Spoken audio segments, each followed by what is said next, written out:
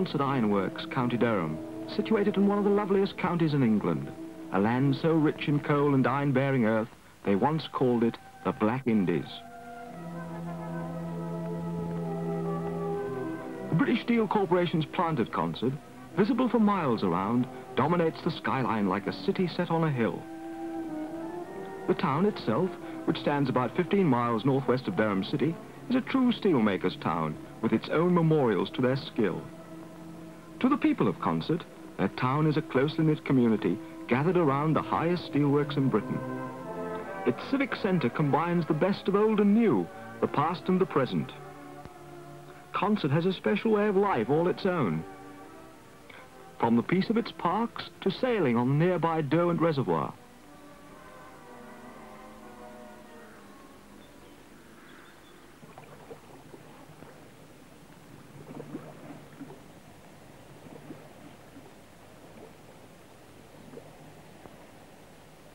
In contrast, the bustle and excitement of the Works Cup final.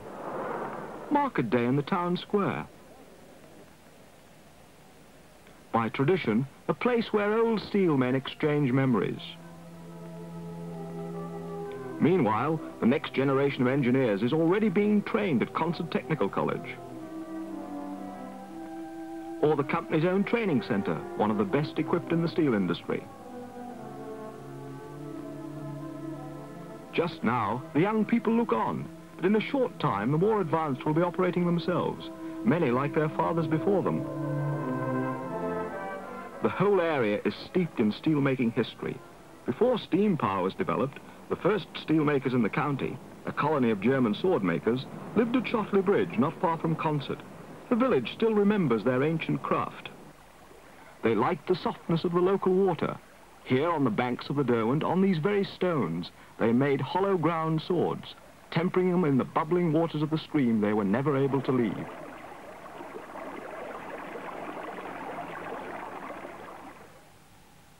Even before the Roman occupation of Britain, furnaces on the moors in the north smelted the clay ironstone of Durham. They concealed a wealth of mineral treasures that were the prizes of victory for the conquering Romans. Sometimes, too, by an accident of temperature, the native bowl furnaces produced small quantities of a strange new metal, the first pourings of Durham steel. To fight off the fierce northern tribes across the wall, the Romans needed ferrum, iron, for spears and the blades of the short Roman sword, the gladius.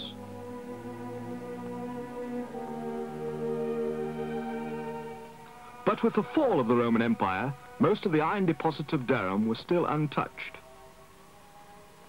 Iron furnaces stayed on the moors after the Romans had gone. Although the Catalan hearth had been invented, iron's greatest days were still to come.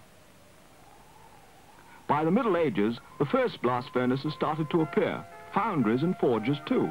In the northeast, Newcastle armourers used medieval charcoal furnaces for making swords for the Percys.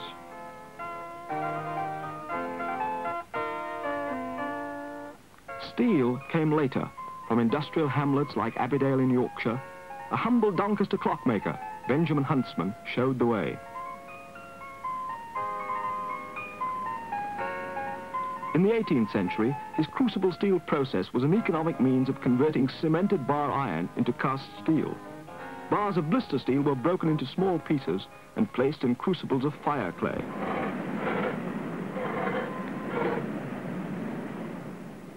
After a few hours, the crucible would be removed by means of heavy tongs.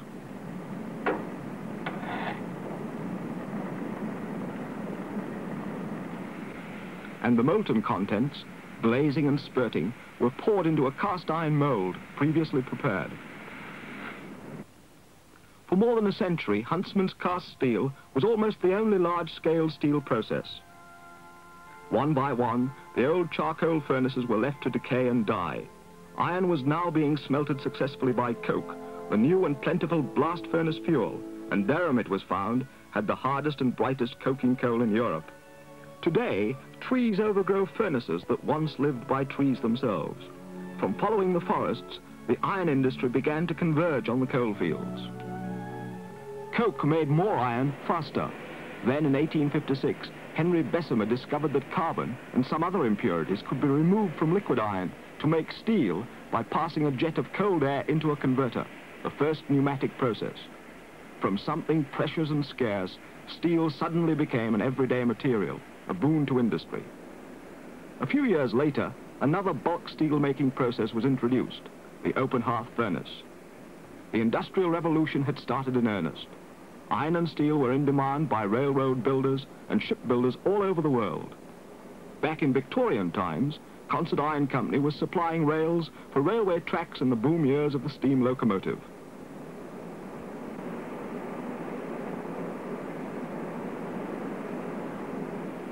The age of steam was founded in Durham. It blossomed with the Stephensons, a great family of engineers. On a September day in 1825, the Stockton to Darlington line was officially opened. The moment Stephenson's rocket overtook the stagecoach, the era of mechanized transport had begun. It was the same in America, where Consett Iron Rails were helping to build the first transcontinental line and conquer the vast spaces. At Promontory Point, Utah, on May the 10th, 1869, the Union Pacific and Central Pacific train gangs met. Gold and silver spikes were driven into the last tie. As the land routes changed, so the sea routes of the world were soon to be served by new ships. Timber hulls disappeared from the building berths as the old techniques of wooden ship construction were translated into iron. Steam-driven iron ships were the cathedrals of the industrial age. Before the turn of the century, Consett was supplying northeast shipyards with iron and steel plates.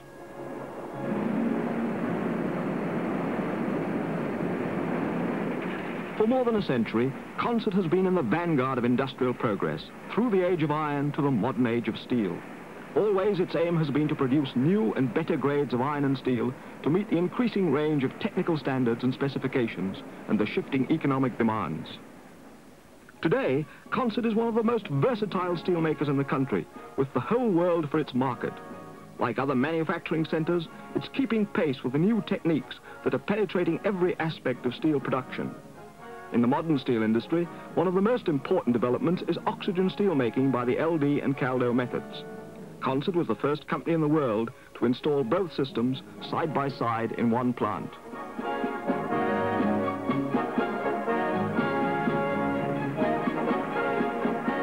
Installation began in 1962 when Consett was producing about 20,000 tons of steel a week. By June 1964, when continuous production started in the new oxygen plant, the anticipated output was an average of 100 tons of steel an hour. One reason for the foundation of Consett Iron Works last century was the rich ore deposits in the surrounding hills. But as the Durham and Cleveland deposits ran out, supplies of foreign ores were imported through the port of Tyne. Today, all Consett steel is produced from foreign ores, mainly Canadian, South American, Swedish and West African.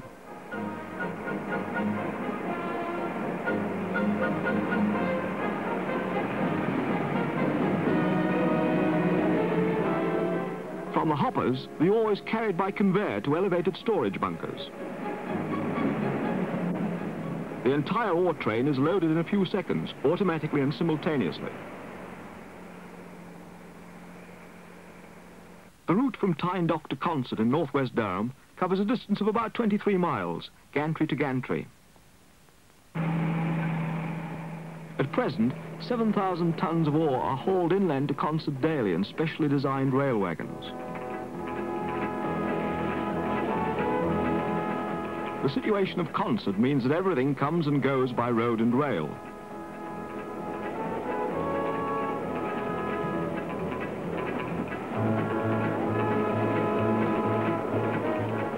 The average load per train is approximately 500 tons, according to type and bulk density.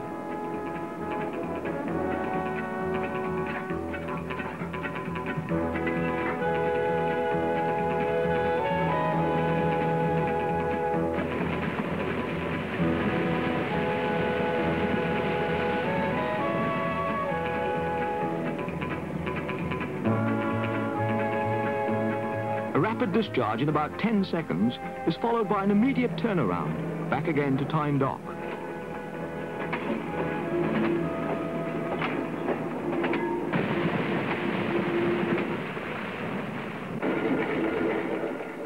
Distributor bridges carry the ore to stock.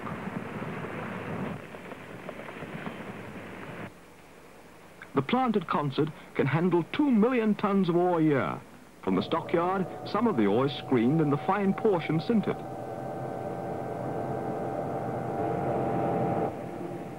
After processing, the ore, sinter, pellets and fluxes go into the furnaces to make iron.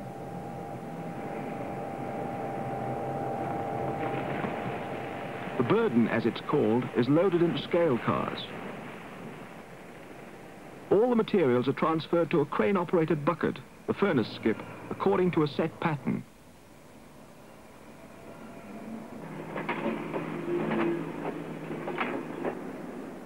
The conventional chemical change from ore to metal is already well known, but today, by bringing them together in new ways through technological development, scientists and steelmakers can produce modern steel cheaper and faster.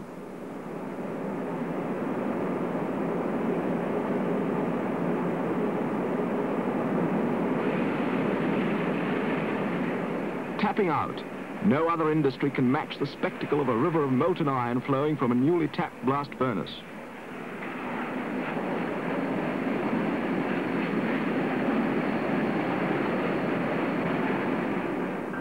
When the tap hole is sealed, the cycle of iron production can begin all over again. At Consett, a link between iron making and steel making is the ladle train. This iron is destined for the nearby LD steelmaking plant. Another link, to provide the additional iron needed to secure full output from Consett Oxygen Steel Plant, takes molten iron from Teesside and transfers it by three torpedo cars on a 63-mile journey to Consett Iron Works. The first time that hot metal has been carried such a distance over rail track in the United Kingdom.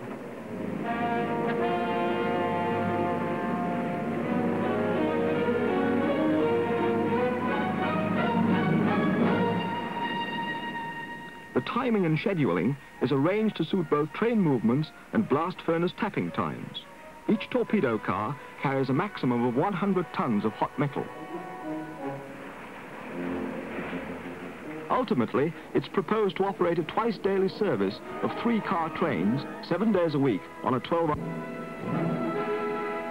Iron now on its way to become steel by the LD process. The temperature of the hot metal is about 1300 degrees centigrade.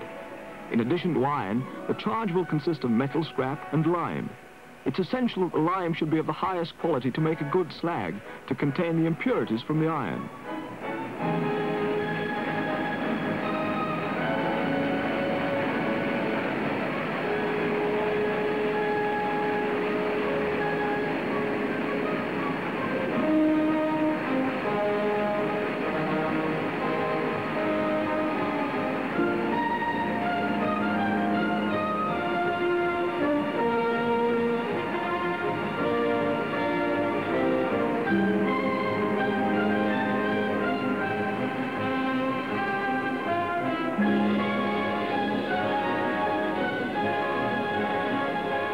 Now the scrap is added. An average open hearth furnace turns out about 200 tons of steel in an eight-hour shift.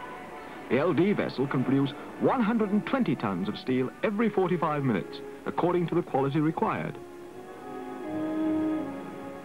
After charging, the vessel returns to the upright blowing position.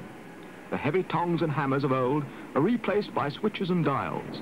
In oxygen steelmaking, the idea is to inject oxygen into the metal from above and by means of a water-cooled lance. The process is fast and automated. From the weight of hot metal and scrap, the furnaceman can calculate the amounts of lime and other additions required to produce special steel of any specific grade.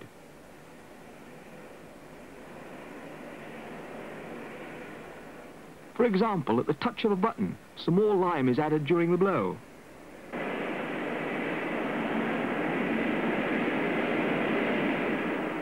Ignition burns the excess carbon. Other impurities, like sulfur, silicon and phosphorus, are removed by oxidation and contained in the slag. The first steel was made centuries ago by wood and wind and water power. Then it was steel from coal. Today, it's steel from a jet of oxygen blown at supersonic speed. Inside the vessel, the metal becomes wildly turbulent as carbon is burned out. In spite of the smoke and fumes, the outside atmosphere is protected by dust collectors incorporated in the LD plant design. only clean steam is allowed to pass from a chimney.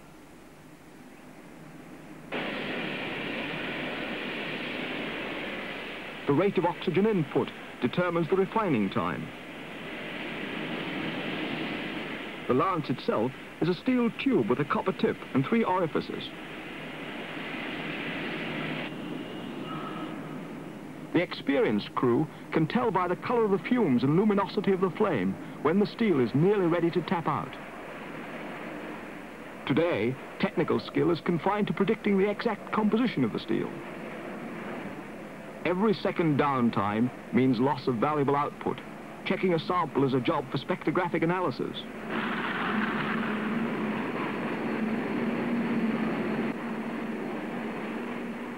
Sometimes, the analysis indicates a continuation of the blow is necessary.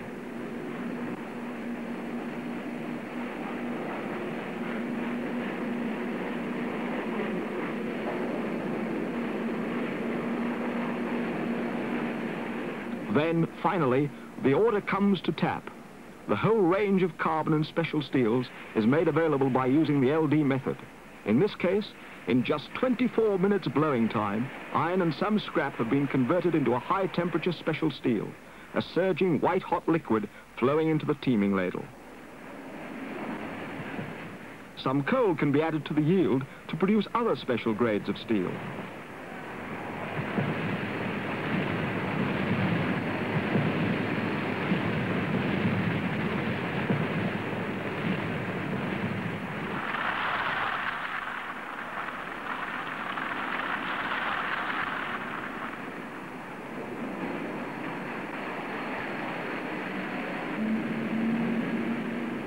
The ladle moves to the teeming bay, where the molds for the ingots are ready and waiting. Giant ladles pour the steel into one mold after another. Perfect ingots mean perfect end products, avoiding waste of precious materials and hold-ups in schedules. Quality control at every stage in steel production is essential.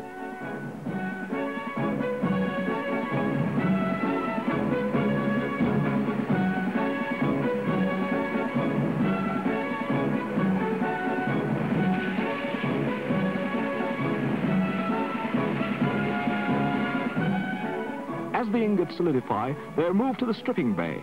There, the molds are stripped, leaving glowing red ingots.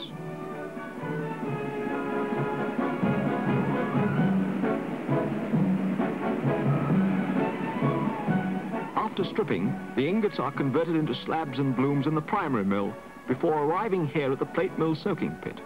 Now the heaters, as the men are called, take over. They handle the steel mass by means of a 25-ton overhead charger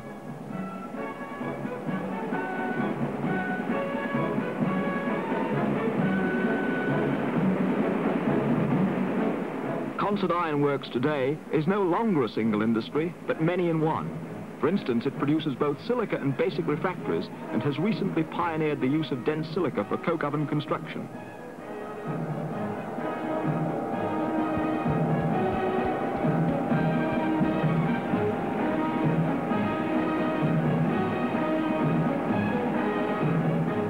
Later, at the rolling temperature, a reheated slab is withdrawn from the soaking pits and transferred to the rolling mill conveyor.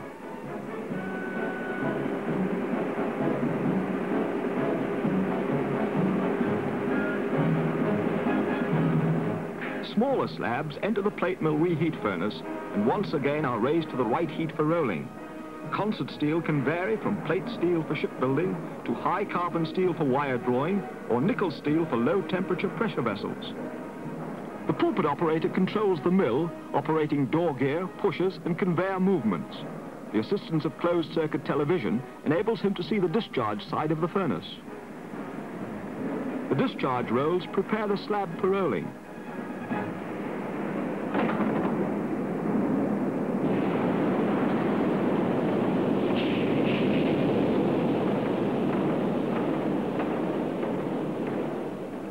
Its first journey is to the descaler, where jets of water and chains remove most of the scale.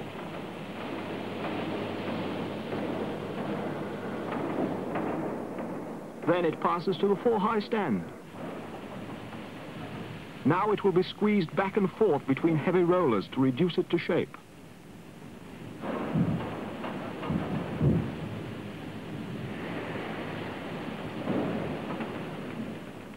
This is steel, the backbone of civilization, the raw material for the industries which still make northeast England famous throughout the world.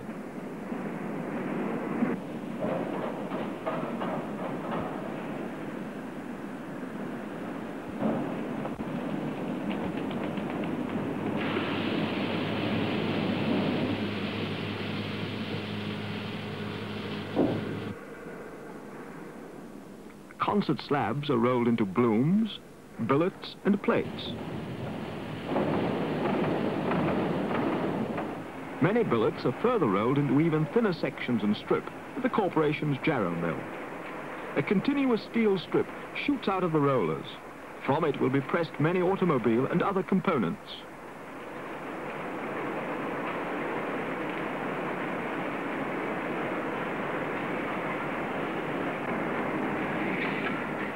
Roller men guide it into the coilers, where the strip is wrapped into great rolls.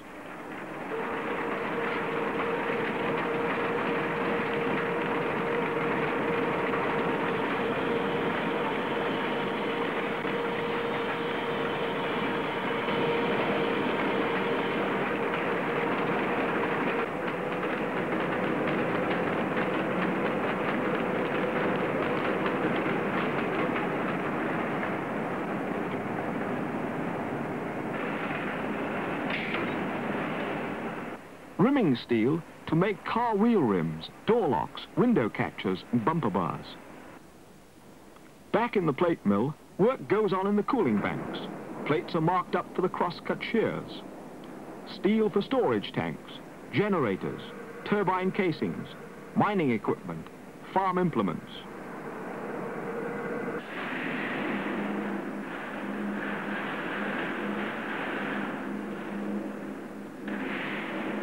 A beam of light is projected onto the plate to ensure accurate positioning before cutting.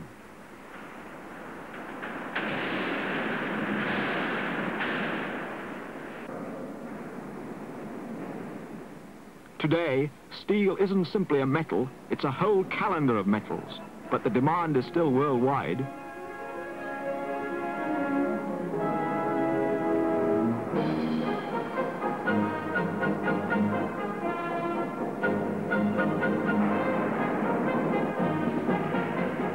Steel for the jobs in hand, and there are many of them. Shipbuilding, perhaps. High-proof stress steel plate. Consett stands almost on the doorstep of Tyneside yards, which turn its products into ships. All the technical resources of the British Steel Corporation are available to make steels with special characteristics. The steelmaker at Consett is a specialist. Special low alloy steels are in demand for submarine hulls. Today, steel is essential for the needs of mankind. It's all around us, built into the fabric of our existence. Consett is continuously engaged in the endeavor to extend fields of steel application through metallurgical research and analysis. Steel, a material to withstand stress and high and low temperatures. Steel for cars,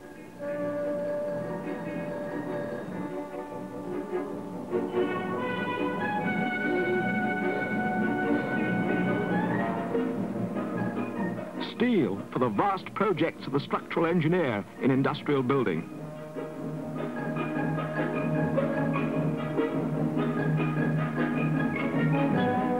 Even at Consett, they add applied science to the art of steelmaking in the LD oxygen process.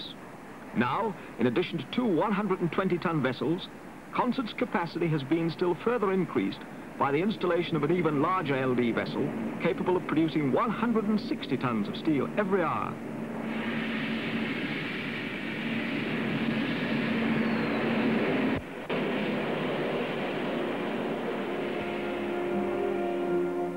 Above the town, a crimson glow lights the evening skies.